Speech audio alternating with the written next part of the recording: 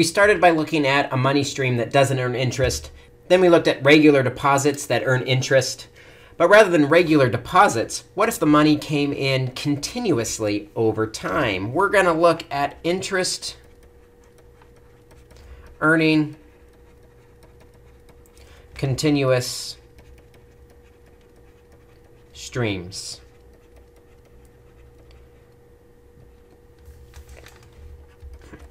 Two formulas that we need to know with these uh, interest earning continuous streams. One is if we're interested in the future value or the amount of income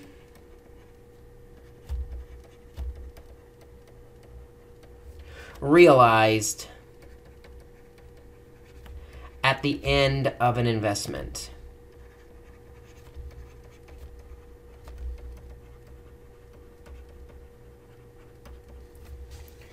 The formula for the future value is going to be e to the r capital T integrated from 0 to capital T of the function that represents that regular income stream times e to the negative rt dt. And if we're interested in the present value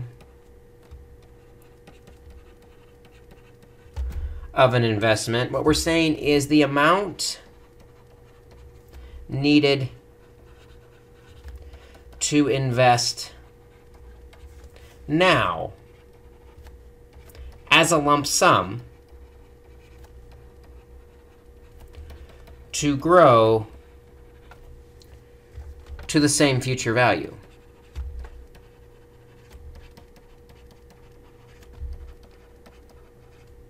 Remember, with the future value equation, money was coming in throughout all of that time. When we're talking about the present value, we're saying how much lump sum money would I need right now to invest and forget about it in order to equal that same larger amount. The way we calculate the present value is we take the integral from 0 to t, capital T, of our function that represents the income stream of e to the negative rt dt. What's nice about these two formulas is we can use the present value and future value to make important business decisions. Let's say that a company is considering the purchase of a $65,000 machine.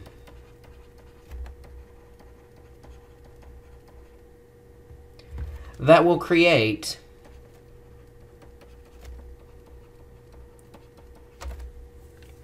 a continuous money stream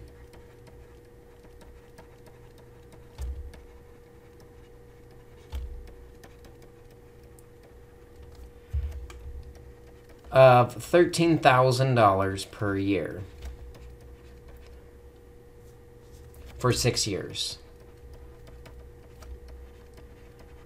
Now, when I call that a continuous money stream, that means it doesn't all come in at the end of the year. That means that 13,000 continuously comes in throughout the entire year, and that happens for six years.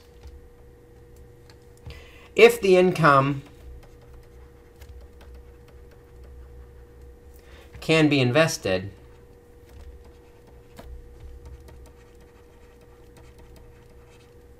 at 8% interest.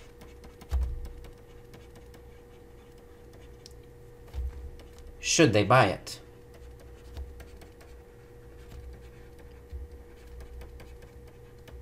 Well, to make this decision, we're going to go through several steps. The first step I'm going to be interested in is what is the money stream with no interest?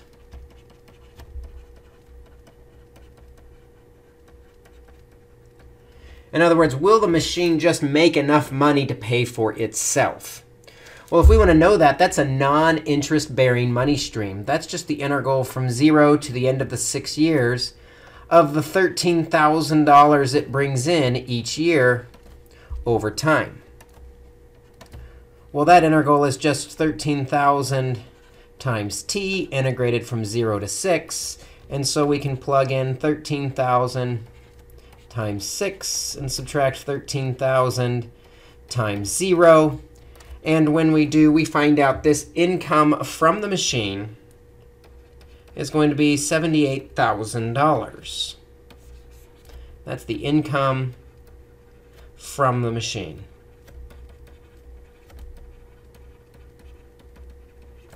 In other words, this $65,000 investment is going to turn into $78,000. It seems like it's a really good idea, and we should do it.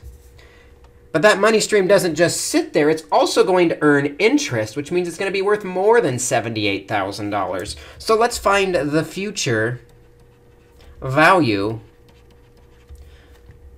of the investment with interest.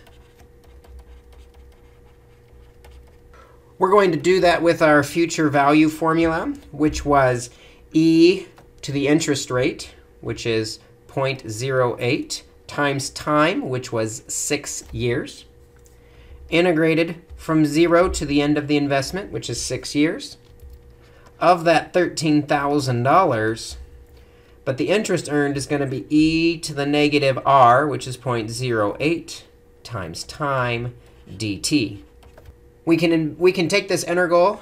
Um, the integral of e to the stuff is just going to be e to the stuff.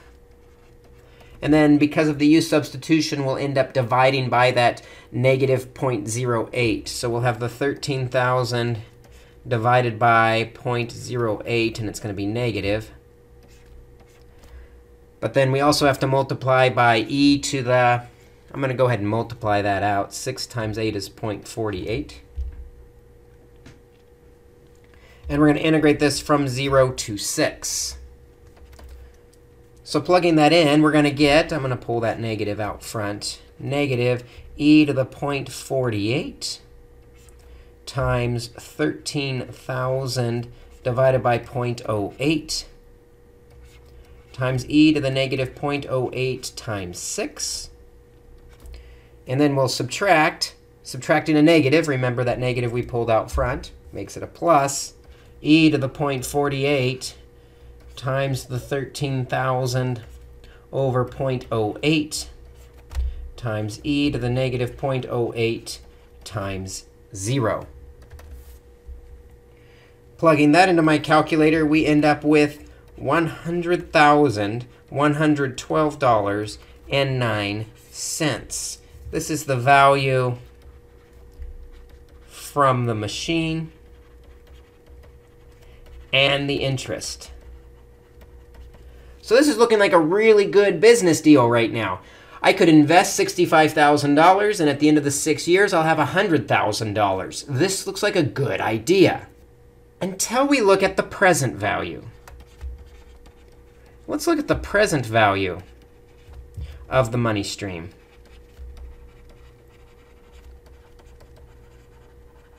Remember, the present value is equal to the integral from 0 to the end of the time, which is 6, times the money stream, which is 13,000, e to the negative 0.08, the interest rate, times time, dt. And we know that this is going to be e to the stuff. So it's going to be e to the negative 0.08t. And then we have to divide by the derivative of that stuff because of the u substitution, which gives us a negative 0.08 with the 13,000 on top. And we're going to integrate that from 0 to 6 years. Well, plugging that in, that's going to be negative 13,000 divided by 0.08, e to the negative 0.08 times 6. And then we'll subtract the negative, which turns into a plus. 13,000 divided by 0.08, e to the negative 0.08 divided by, or sorry, times 0. And when we plug all of that in, we end up with $61,947.70. That's the present value, which means that's the amount to invest now to earn that same future value. which means right now I could take $61,947 and put it in the bank into this investment and come back in six years and I will still have earned that $100,000 future value. Which means the question really is, do I want to pay $65,000 to earn it? Or do I want to pay $61,000? Which one of those in investments do I want to make if they both are going to result in the same $100,000? Should they buy the $65,000 machine?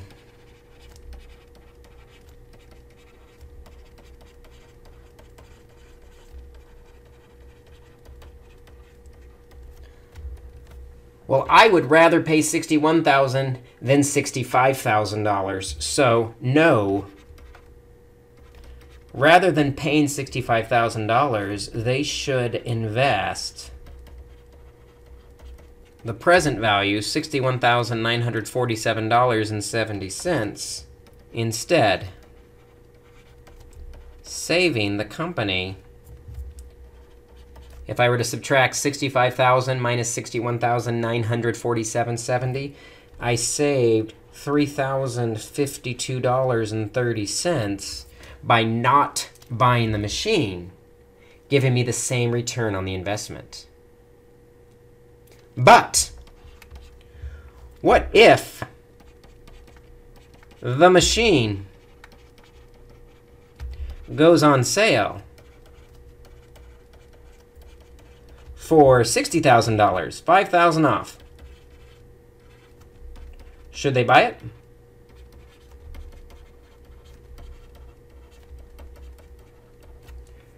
Well, now that the machine is $60,000, now the decision is do I pay $60,000 or do I pay $61,000? Both of those are present values. Well, I can see that it'd be better to pay the $60,000. So now, yes, they should buy the $60,000 machine because now they save if I were to subtract 60,000 from by from the present value of 61,947, they're saving $1,947.70 over the investment.